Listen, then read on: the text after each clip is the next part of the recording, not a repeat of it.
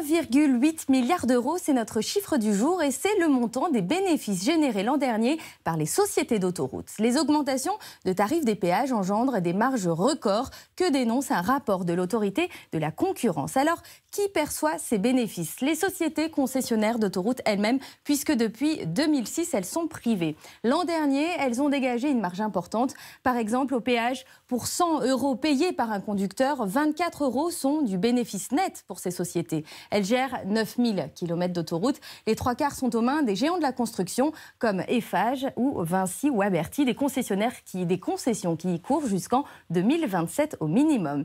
Quelles sont les autoroutes les plus touchées par ces hausses de tarifs? Alors c'est l'A1 entre Paris et Lille qui a connu la plus forte augmentation euh, du prix au péage, plus 32% en 11 ans, passant ainsi de 12 à 16 euros. Vient ensuite l'A6 entre Paris et Lyon avec près de 28% en plus, puis l'A4 entre Paris et Metz. L'un des trajets les plus chers est le Paris-Bordeaux avec 54 euros en 2013 contre 44 euros en 2002.